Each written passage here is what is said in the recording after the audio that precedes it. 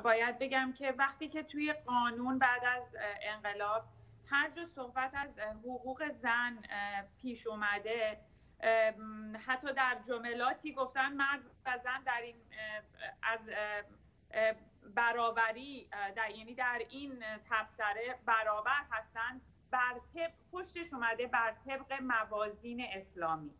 و وقتی که اینجا موازین اسلامی پشت کلمه برابری میاد خود اون برابری رو زیر سوال می‌بره. یه ابهامه. موازین اسلامی طبق نظر سنتگرایان اسلام زن حقوق برابری با مرد نداره. از هیچ نظر. چه حقوق مادی و چه حقوق معنوی.